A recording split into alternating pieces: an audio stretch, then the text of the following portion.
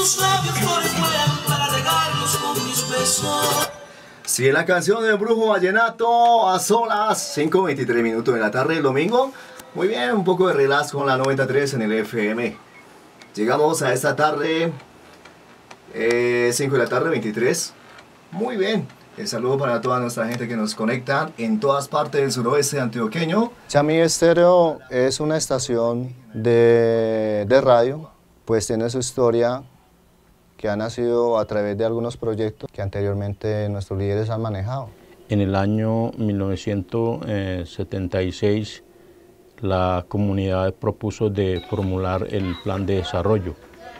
Lo hicimos por primera vez y yo soñaba de, trabajar en un medio radial y le dije, bueno, esta es como la salida y la alternativa. La creación ha sido la necesidad de comunicación, ¿sí?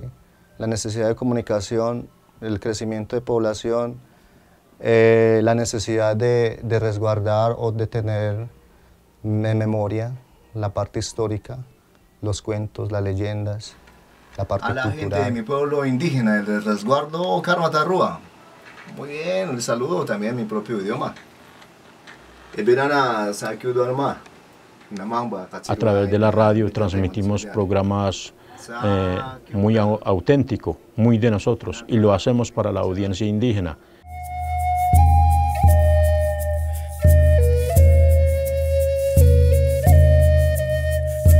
El objetivo de nosotros es llegar a la misma población de nosotros. No importa que, no importa qué programaciones o parrilla de programación musical tenga. Lo importante es tener claramente al 100% nuestras ideas como, como indígenas. ¿sí? La música, el cuento, eh, la involucración de los líderes, de los jóvenes, de los niños, de las mujeres. En el año 2000, el Ministerio de Comunicaciones nos convocó a un, em- a un evento internacional de radios indígenas. En el evento nos encontramos con los guambianos que ya tenían experiencia en el tema radial, con los indígenas zenú que ya también estaban operando. Eh, me encontré con otros hermanos indígenas, como con cuatro pueblos indígenas de Colombia que ya tenían experiencias, porque yo pensaba hasta ese entonces que nosotros éramos como los únicos. Entonces llegamos a estos resguardos indígenas del suroeste, llegamos a otros departamentos indígenas, donde existen los pueblos indígenas.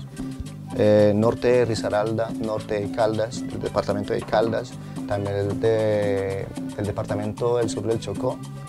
Llegamos, abarcamos con esta potencia. Machira ita, kapuniana ita, programa versión beta ina uni dua nun, o mai buru chia dua nuna ita.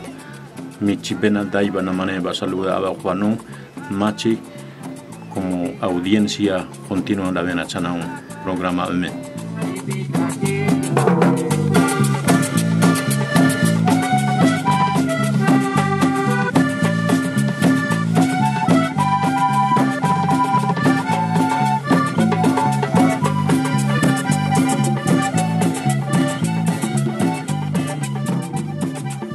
Cada día más es robar corazones, aunque sean indígenas. Sí, yo digo es eso. El campesinado o la gente no indígena eh, es importante también para nosotros, porque creo que la cultura de nosotros se hace conocer.